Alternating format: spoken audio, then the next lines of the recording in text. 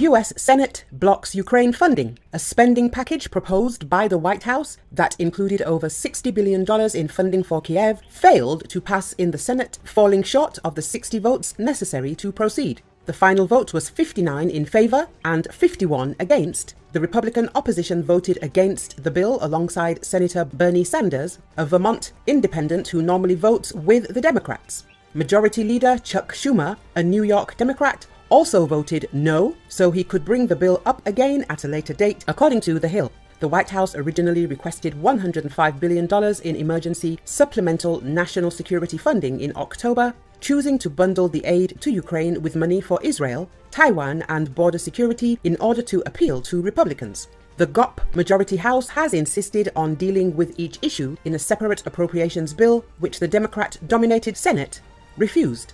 Earlier, President Joe Biden urged the Senate to approve the bill, accusing Republicans of wanting to literally kneecap Ukraine on the battlefield and damage our national security in the process, and holding the funding for Kiev hostage to border policy.